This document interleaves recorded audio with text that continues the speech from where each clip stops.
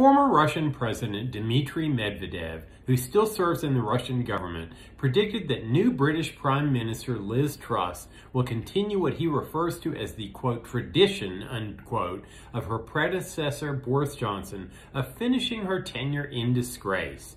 Medvedev said Truss doesn't have 5% of the ability of former British Prime Minister Margaret Thatcher.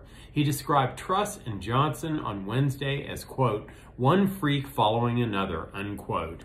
There's no question that Truss is off to a rough start as Prime Minister, facing an energy price crisis while offering no concrete solutions, and also having to deal with a British national healthcare bureaucracy which seems on the verge of imploding.